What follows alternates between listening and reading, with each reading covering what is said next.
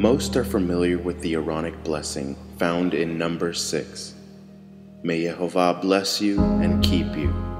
May Yehovah make his face shine on you and show you his favor. May Yehovah lift up his face toward you and give you peace. We often read or say these words without really knowing what they mean. When we look at the words bless and keep from a Western Gentile mindset, we see that they are abstract words which are familiar in the English. But the ancient Hebrews were concrete thinkers who related all things to concrete ideas. For example, the word anger in Hebrew is aph, which literally means nostril, face, or nose. When one becomes angry, don't we notice that their nostrils flare? See how a Hebrew mindset changes the word and illustrates a more concrete picture? The Hebrew word bless, barak, which literally means to kneel, a barakah is a blessing, but more literally, the bringing of a gift to another on a bended knee. When we bless God or others, we are in essence bringing a gift on bended knee.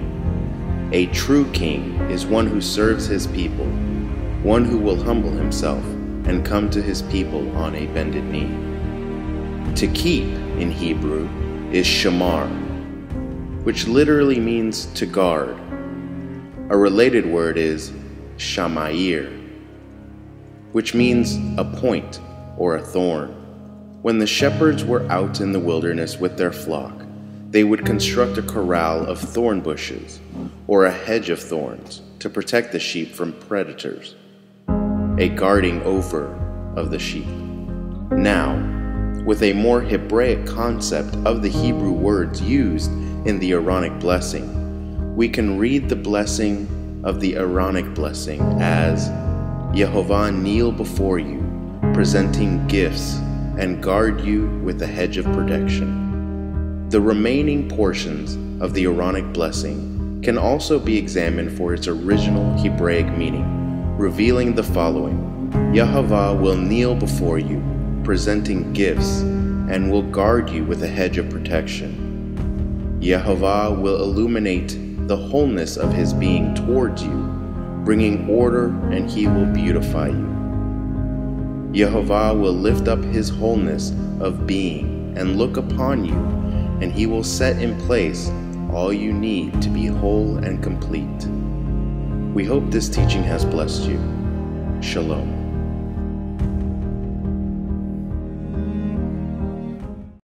פניו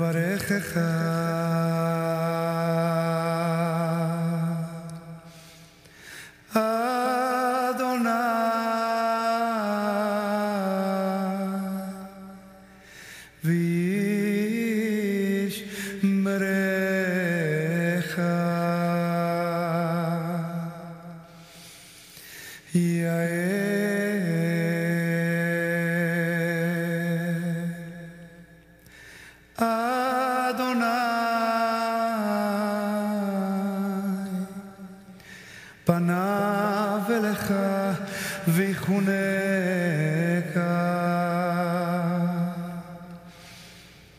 Εις Αδωνάη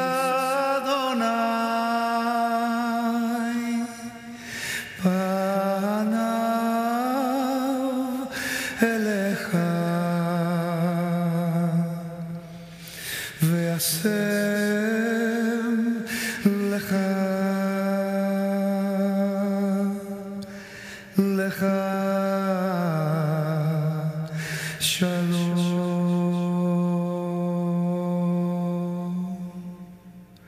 The Lord bless you and keep you.